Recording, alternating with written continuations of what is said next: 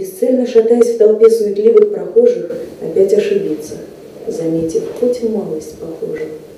А после, едва оказавшись в метровой прихожей, по стенке и на пол, и сутки еще вроде прожиты.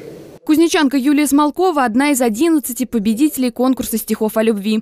Он проводился в Кузнецке в 15 раз, и этой цифре организаторы уделили особое внимание.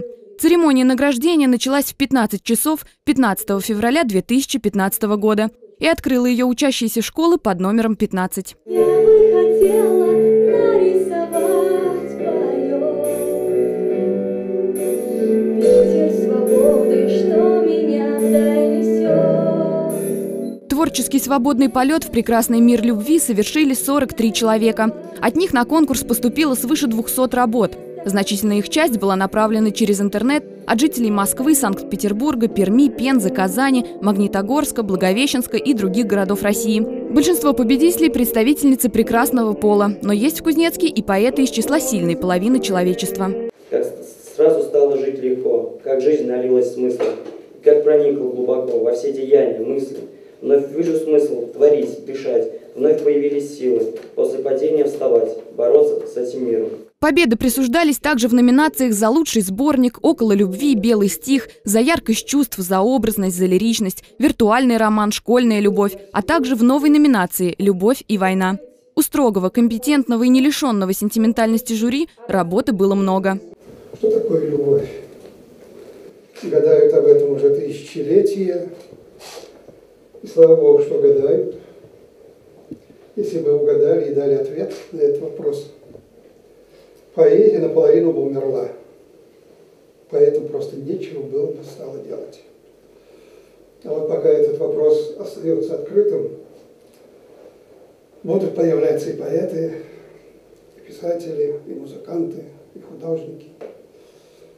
И будут искать ответ.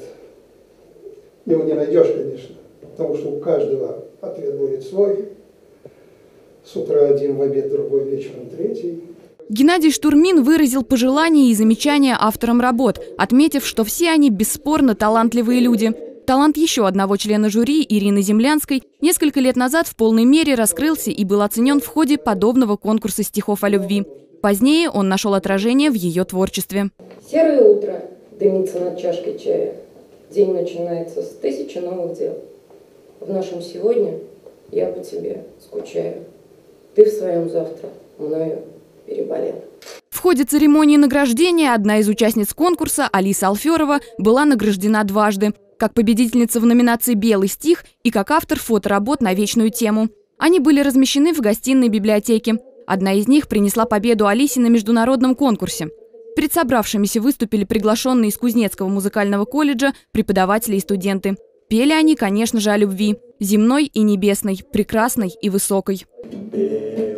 Белый голубой своим крылом, своим крылом устремился ввысь под облака. Где-то вдалеке церковный перезвон, Слышно, как звонят колокола. Победители и участники конкурса стихов о любви получили грамоту Управления культуры администрации Кузнецка. Заслуженные награды доставят и иногородним поэтам.